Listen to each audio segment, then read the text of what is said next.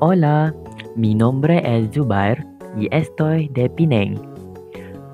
Ahora te mostraré algunos lugares interesantes para visitar en Penang.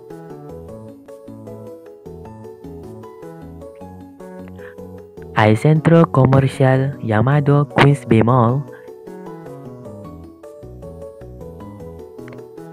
Hay Penang Hill. Hay playa de Batu Feringhi. La Queens Mall está en Bayan Lepas, que está en la isla de Penang.